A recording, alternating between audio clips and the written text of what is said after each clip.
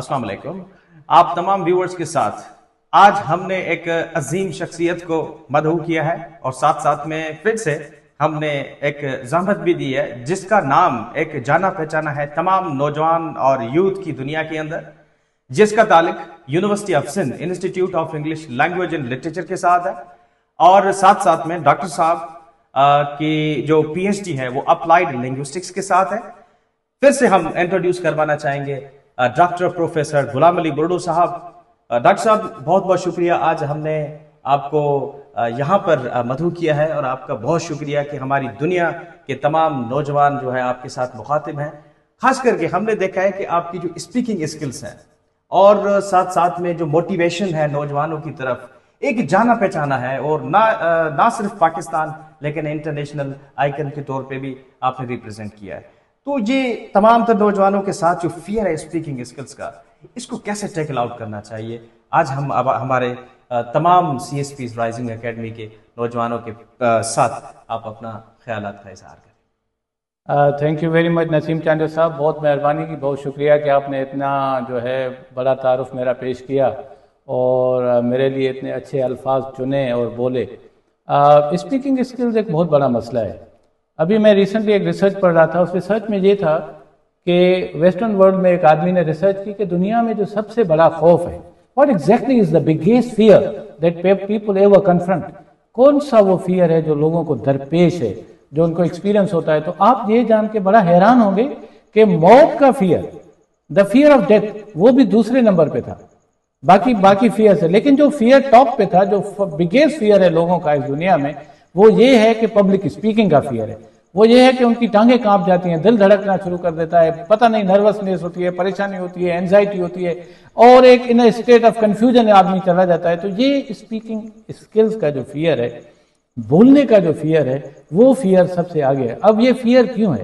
کیونکہ ہم وی گرو with this fear کیونکہ ہم اس فیئر کو اپنے ساتھ پلتا بڑھتا دیکھتے آئے ہیں۔ یہ فیئر ہمارے دماغوں میں بیٹھ گیا ہے۔ تو سب سے پہلے اگر ہم اپنی اسپیکنگ اسکلز کو امپروو کرنا چاہتے ہیں، تو میرے خیال سے and I am absolutely convinced this this thought کہ سب سے پہلے ہم نے یہ حقیقت کو آئیڈینٹیفائی کرنا ہے کہ ہم میں یہ اندر چھپا بیٹھا ہے۔ اور ہمیں سب سے پہلے سائیکولوجیکلی یہ ایک نفسیاتی مسئلہ ہے، یہ سائیکولوجیکل ایشو ہے۔ ہم نے سب سے پہلے ولنگنیس ٹو کمیونیکیٹ ہمیں خود کو یہ ولنگنیس اپنے اندر پیدا کرنی پڑے گی کہ ہمیں بولنا ہے۔ ہمیں اس فیئر کو ڈیفیٹ کرنا ہے۔ ہم نے اس فیئر کو کمبیٹ کرنا ہے۔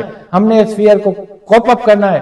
ہم نے اس فیئر کو شکست دینی ہے۔ ہم نے اس فیئر پہ قابو پانا ہے۔ اور یہ ہم اس طرح کر سکتے ہیں کہ سب سے پہلے ہم یہ حوصلہ پکڑیں، اپنے اندر ایک پر، ایک ارادہ کریں، ایک پختہ ارادہ کریں کہ we are capable of speaking Allah نے ہمارے اندر وہ پوری صلاحیت بھری ہوئی ہے، ہمارے اندر وہ صلاحیت موجود ہے۔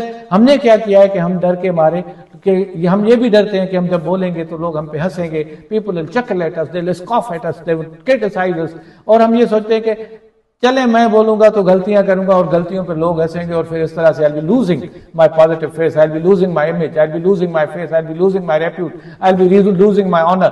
صحیح ہے. ہوتا ہے شروع میں. لیکن میں تو یہ کہنا چاہوں گا کہ ایکوریسی سے فلوئنسی کہیں زیادہ امپارٹنٹ ہے. دنیا میں کہیں پہ ایک بھی مثال ہمیں نہیں ملتی.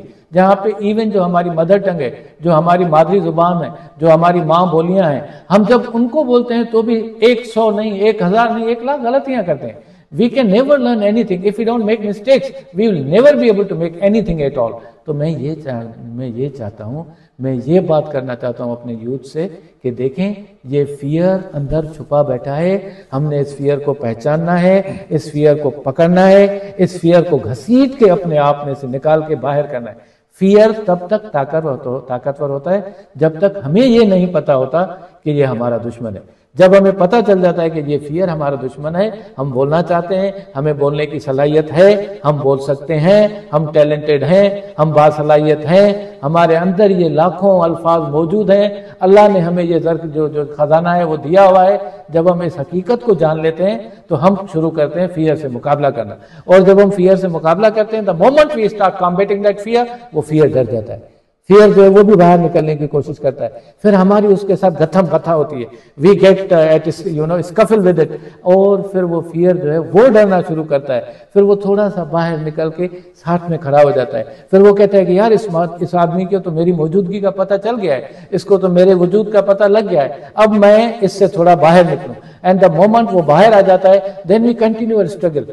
We continue with our commitment. We continue with our willpower. By willpower we keep speaking. We start speaking. We go on making mistakes. We are never scared of mistakes. We just don't care about mistakes. All that we care about is fluency. All that we care about is to put our thoughts across. All that we care about to give expression to our feelings and our, and our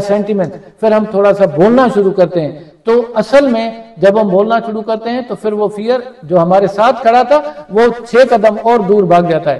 اور اس طرح جب ہم struggle کو جاری رکھتے ہیں، اس fair کے ساتھ ہم اپنی ولنگنس ول پاور کے ذریعے اس کو سبڈیو کرتے ہیں، اس کو سب ورڈ کرتے ہیں، اس کو سبجو گیٹ کرتے ہیں، اس کو ریڈیوس کرتے ہیں، تو پھر وہ ہمیں کہتا ہے کہ یار، اب یہ آدمی میرے کام کا نہیں ہے، میں اس کو چھوڑوں، کہیں اور بھاگوں۔ تو میرا خیال ہے، تو first step psychologically we need to learn we need to know we need to realise کہ ہم اس فیئر سے کہیں زیادہ طاقتور ہیں۔ ہمیں اللہ نے اشرف المخلوقات بنایا ہے۔ ہمیں اللہ نے زبان عطا کی ہے۔ ہمیں اللہ نے ذہن عطا کیا ہے۔ ہمیں اللہ نے کوگنیشن عطا کی ہے۔ اور یہ سارے پاورز جب ہم بروئے کار لائیں گے ان کو جب ایکٹیویٹ کریں گے جب ان پہ بھروسہ کریں گے اور اللہ کی ذات پہ بھروسہ کریں گے اور اپنی ہیومن ڈگنیٹی پہ بھروسہ کریں گے اپنی صلاحیت اور ٹیلنٹ پہ بھروسہ کریں گے تو یہ فیئر ہم سے کوسوں دور اچھا، بھاگ جائے گا۔ ایک ایک اور کوشچن ہے۔ کہ ہماری یوتھ کے اندر یہ ایک مطلب بڑا ایک خیال ہے کہ ہم گرامر اگر پڑھیں تو ہم اپنی انگریزی بہتر کر سکتے ہیں، ہمارے اسپیکنگ اسکلس ہماری بہتر ہو سکتی ہے تو آپ کا کیا خیال ہے کہ گرامر کے تھرو صرف اگر ہم اپارٹ فرام ریڈنگ اور باقی تمام چیزیں، تو کیا گرامر سے یہ اسکلس آ سکتی ہیں؟ دیکھیں، گرامر یہ ایک مس پرسپشن ہے ہمارے پاس کہ we will be learning speaking and reading and writing and all other skills through grammar grammar is simply the structure synthetic rules وہ ہمیں بتاتا ہے کہ کہاں پہ ہی ہو، کہاں پہ شی ہو، کہاں پہ از ہو، کہیں پہ واز ہو. تو میں بالکل بھی نہیں سمجھتا کہ گرامر پہ دسترست حاصل کرنے سے، مہارت حاصل کرنے سے ہم انگریزی لکھنا اور بولنا شروع کر سکتے ہیں. This simply can not happen ہم انگلش جو اسپیکنگ ہے وہ تب امپروو کر سکیں گے جب ہم لسننگ کریں گے. لسننگ از دا کی بیکاز دو ریسپٹیو اسکلز ہیں اور دو پروڈکٹیو اسکلز ہیں. دو ریسپٹیو اسکلز یہ ہیں کہ جب ہم ریڈ کرتے ہیں تو باہر سے چیز اندر جاتی ہے. جب ہم لسن کرتے ہیں تو باہر سے چیز اندر جاتی ہے اور ہمارے مائنڈ کو انرچ کرتی ہے. ہمارے مائنڈ کو فل کرتی ہے. یہ فلنگ اسکلز ہیں. These are core receptive skill we keep receiving through these two skills اگر ہمارے ریسپٹیو اسکلز بالکل ویک ہیں، ہم نہ پڑھ رہے ہیں اور نہ سن رہے ہیں تو ہمارا ذہن خالی رہے گا اور ہم خالی جگ سے کبھی بھی پانی کا گلاس نہیں بھر سکتے۔ پانی کا گلاس بھرنے کے لیے یہ ضروری ہوتا ہے کہ پہلے جگ کو بھریں۔ تو ہمارا ذہن، ہماری کوگنیشن ہمارے ریسپٹیو پاور اس جگ کی مانے دیں جب ہم اس میں کوئی چیز اندر ڈالیں گے تو ہی اس میں سے کوئی چیز نکال پائیں گے۔ گرامر تو ہمیں چند اصول بتاتا ہے، کیونکہ ہم سیکنڈ لینگویج لرن کرتے ہیں فرسٹ لینگویج کے تو ہم گرامر بھی نہیں سیکھتے۔ آپ نے دیکھا ہوگا کہ اردو اور سندھی سیکھنے کے لیے، بلوچی اور اینی ادر مدر ٹنگ سیکھنے کے لیے ہمیں فارملی اسکول میں گرامر سیکھنے کی ضرورت نہیں ہوتی۔ ہم سنتے آتے ہیں اپنے فیملی سے، اپنے گھر سے، اپنے والدین سے، اپنے بھائی بہنوں سے کہ یہ یہاں پہ تھا لگے گا، یہاں تھی لگے گا۔ مونس کے ساتھ جو ہے تھی لگے گا، مذکر کے ساتھ تھا لگے گا۔ تو these come to us by you know naturally لیکن جیسا کہ سیکنڈ لینگویج ہے we are not born with it we are not native we are non native speaker and we are learning it as a second language تو initially ایک stage پہ، ایک دو مہینوں کے لیے ہمیں اس کے اسٹرکچر کو ضرور سیکھنا ہے۔ لیکن if you want to speak fluent English and we want to write fluently and we want to impress and fascinate the entire world by the power of writing and the power of reading, power of speaking, تو اس کے لیے ہمیں reading کرنی پڑے گی۔ کیونکہ جب ہم ریڈ کرتے ہیں جب ہم پڑھائی کی دنیا میں جاتے ہیں آہ جب کتاب ہوتی ہے جب آپ ہوتے ہیں، جب سکون ہوتا ہے، جب پوری اس رائٹر کی دنیا ہوتی ہے، جب آپ اپنے آپ کو اس میں امرس کرتے ہیں، تو آپ دیکھیں گے اسی میں پنچویشن ہے، اسی میں کیپیٹلائزیشن ہے، اسی میں اسٹرکچرز ہیں، اسی میں وکیبولری ہے، اسی میں ورڈز ہیں، اسی میں ایکسپریشن ہے، اسی سے ہی انریچمنٹ ہوتی ہے۔ Everything lies there in the reading the more we read the more we read the more we read the you know better we can always always write and the more we listen why why I see reading and listening because if you reading reading سے ہمیں کیا ملتا ہے؟ Reading سے ہمیں words ملتے ہیں، ہمیں چنکس ملتے ہیں، ہمیں فریزز ملتے ہیں، ہمیں ایکسپریشنز ملتی ہیں، ہمیں سینٹینس اسٹرکچر ملتا ہے، ہمیں سنتھیٹک اسٹرکچر ملتا ہے، ہمیں رولز ملتے ہیں، ہمیں گرامر ملتا ہے۔ یہ ساری چیزیں ریڈنگ میں ہوتی ہیں، کیونکہ بکس میں ہی یہ سارے سینٹینسز ہیں، سارے پیراگرافس ہیں، سارے کچھ جو بھی ہمیں رائٹنگ کے لیے چاہیے ہوتا ہے، وہ اسی ریڈنگ کے تھرو ہوتا ہے۔ اور میں لسننگ پہ کیوں انسسٹ کر رہا ہوں؟ کیونکہ لسننگ میں ہمیں وہ چیزیں ملتی ہیں جو ریڈنگ سے نہیں ملیں گی۔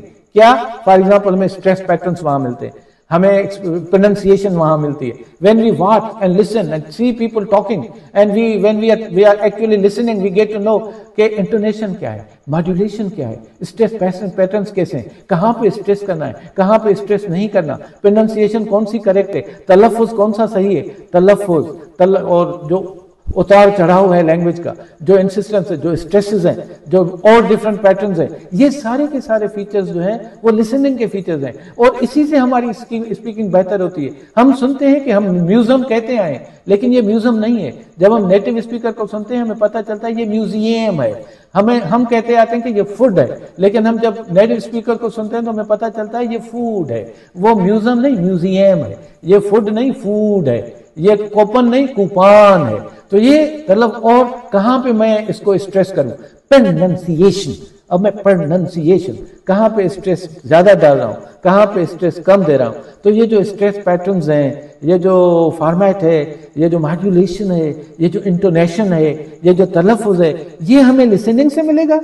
اور لفظ اور رولز اور گرامر اور ایکسپریشنز اور چنکس اینڈ فریزز وہ ہمیں ریڈنگ سے ملیں گے۔ اچھا، تو لسننگ اور ریڈنگ چاہتے صاحب میں یہ کہنا چاہوں گا دوبارہ کہ لسننگ اینڈ ریڈنگ کے سوا بولنا اور اسپیکنگ اینڈ رائٹنگ پاسبل نہیں ہوگی اچھا تو سر کچھ ہم اگر سورسز بتا دیں ریڈنگ اسکلز کے لیے دیکھیں ریڈنگ میں میں چاہوں گا کہ ابھی ایک میں نے پریزنٹیشن سنی تھی۔ جب میں گیا تھا کراچی، تو وہاں پہ ایک رشین اسکالر تھی، انہوں نے کام کیا تھا اس پہ۔ کیا کام کیا تھا؟ وہ ٹیکسچل کمپلیکسٹی پہ کام کرتی تھی۔ یعنی ہم وہ ٹیکسٹ پڑھیں جو ہمارے ذہن کی کوگنیشن کے مطابق ہو۔ اگر ہم اپنے ذہن کی کوگنیشن کی لیول سے بہت کم درجے والا ٹیکس پڑھیں گے تو ہمارے وقت کا ضائع ہو جائے گا ویسٹیج ہوگا۔ لیکن اگر ہم اپنے ذہن کی کوگنیشن سے بہت اوپر والا ٹیکس پڑھیں گے، جو کہ بہت کمپلیکس ہے، جس کو ہم ڈیکوڈ نہیں کر سکتے، جس کو ہم سمجھ نہیں سکتے، جس میں بہت ہیوی وکیبولری یوز کی ہوئی ہے، جس میں لینگویج بہت ایبسٹروس ہے، بہت فلوسفیکل ہے، بہت کمپلیکس ہے، بہت ایبسٹریکٹ ہے، تو پھر ہمیں جو ہے، اس میں بھی بڑی پریشانیاں ہوں گی اس لیے جو ہمارے یوتھ ہیں، جو انٹرمیڈیٹ پاس کر کے آتے ہیں، جنہوں نے اے لیول او لیول کیا ہوتا ہے یا میٹریکولیشن یا انٹرمیڈیٹ میں آتے ہیں، میرا خیال ہے کہ یوتھ اسی کیٹیگری میں آتے ہیں، یا پھر وہ انڈر گریجویٹ لیول پہ ہوتے ہیں یونیورسٹیز میں نئے نئے آتے ہیں یا دو سال کمپلیٹ کر چکے ہوتے ہیں۔ تو یہ جو ہمارا ٹارگیٹ آڈینس ہے یوتھ کا، اس ٹارگیٹ آڈینس کو وہ ناولز آتھرس میں بتانا چاہوں گا جو ان کو بڑا پلیز کریں گے۔ جو ان کی کوگنیشن لیول کے بالکل مطابقت رکھتے ہیں، موافقت رکھتے ہیں۔ ان میں میں چاہوں گا کہ وہ ڈین براؤن کو پڑھنا شروع کریں کلین ہوور کو پڑھنا شروع کریں الف شفق کو پڑھیں خالد حسینی کو پڑھیں اور ساتھ ساتھ وکرم سیٹ کو پڑھیں۔ اور اروندھتی رائے کو پڑھیں گے تو شاید پھر وہ پڑھنا چھوڑ دیں گے۔ وہ کہیں گے کہ مجھے پڑھنا نہیں آتا کیونکہ وہ تھوڑی سی ہارڈ ہے۔ اس کے ساتھ ساتھ وہ پاولو کولو کو پڑھیں۔ اسی طرح کے سڈنی شیلڈن کو پڑھیں، ماریو پوزو کو پڑھیں۔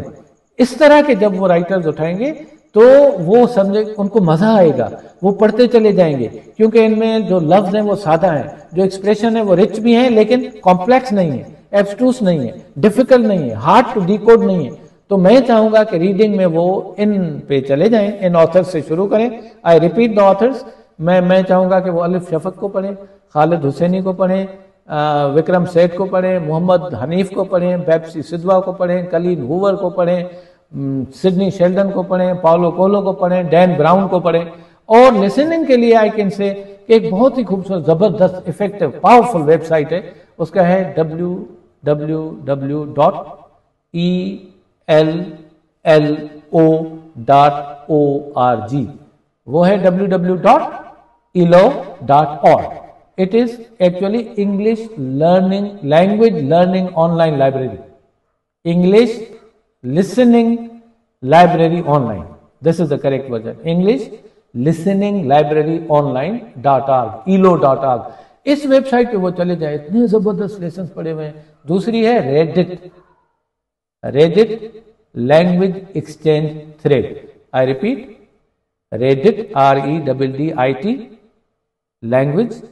Reddit, R-E-D-D-I-T, جو دھاگا ہوتا ہے T H R E A D تو جب وہ ریڈٹ لینگویج ایکسچینج تھریڈ پہ جائیں گے مائی لینگویج ایکسچینج ہے اور تھوڑے سے ایپس ہیں۔ فار ایگزامپل ایک ایپ ہے پری پلائی اب پری پلائی وہ ایپ ہے جو آپ کو نیٹو اسپیکر کے ساتھ کرے کرتی اور اس کو ہم لکھتے ہیں P R E dash P L Y Preply app پہ جب آپ جائیں گے تو وہ جو بھی دنیا میں نیٹو اسپیکرز ہیں ان کے ساتھ آپ کو کنیکٹ کر دیں گے۔ آپ ان سے بات چیت کریں گے فری آف کاسٹ تو اس طرح سے آپ کی انگلش اب وہ جو این ڈی ہے اے این ڈی وائی اس میں ایک یہ چیٹ بورڈ ہے، اس کو چیٹ بورڈ بھی کہتے ہیں اور ایک طرح کا روبوٹ ہے۔